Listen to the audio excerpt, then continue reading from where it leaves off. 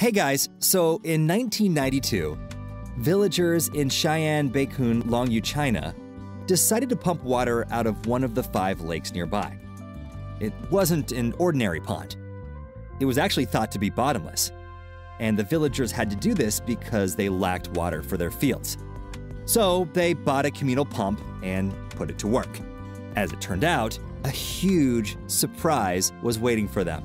So after five days of uninterrupted pumping, a rectangular entrance appeared into an ancient cave.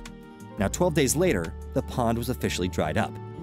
It turned out that there was an entire complex of handmade caves under the village that are not only astonishingly beautiful, but on the scale never before seen in underground construction.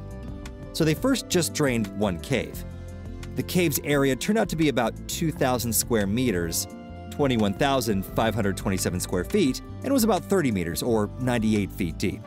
After that, they decided to start draining all the other caves, you know, thinking that they were going to find a whole bunch of surprises inside. So in total, the underground grottos were spread throughout the village. And they made up a group of 24 artificial caves made out of sandstone and were made over 200 years ago. Now, they were never registered in any historical documents, and all the walls and ceilings of the caves were decorated with carvings supposedly made with a chisel. I mean, we can only guess how much time and energy was spent to dig these caves using, you know, primitive tools. Since the total area of the caves is over 30,000 square meters, that's 322,000 plus square feet.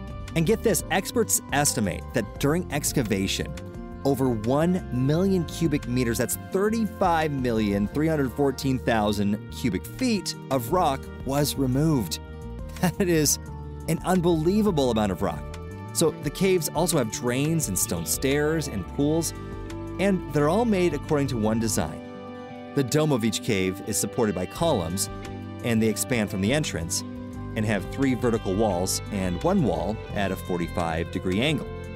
The cave system is called Zion Xiaonanhai Stone Chambers and was made into a tourist attraction. Lighting was installed to highlight the cave's beauty. Five caves are currently open to tourists.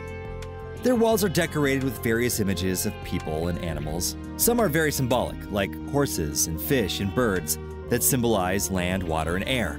Concerts are also held in the Longyou Caves because they have fantastic acoustics. Nevertheless, there are still a lot of questions, like how are the caves preserved so long? Why was nothing damaged by the water? Who built them and why? Chinese history has no answers. The caves are never mentioned. They were forgotten. Intentionally or not, we're not sure.